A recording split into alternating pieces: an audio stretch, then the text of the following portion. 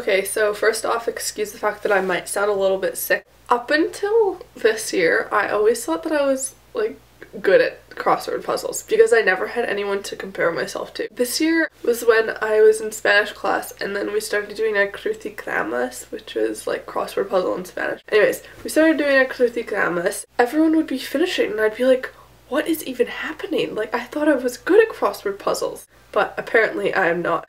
And I always thought that I was really good and it was a crushing blow right there. The fact that I'm not good at them.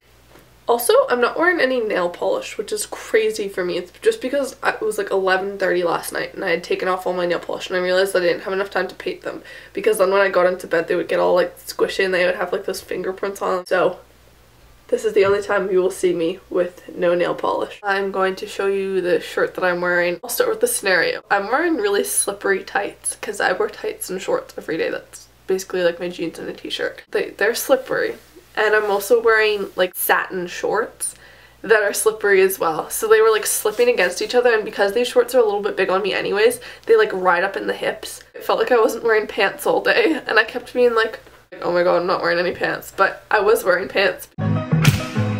They kept going like this, so it would be like this and then I'd have to like yank them down all day and they're just so slippery. So basically that concludes this video. I have, I guess, a special announcement. My 16th birthday is birthday present. I'm flying to Paris, France. I'm really, really excited. I'm going for nine days, so I'm going to have lots of opportunities to make different videos and stuff, which will be really cool, and I'll make some awesome videos, and maybe I'll put it together in one Paris video, so yeah. Anyways, stay fetch homies.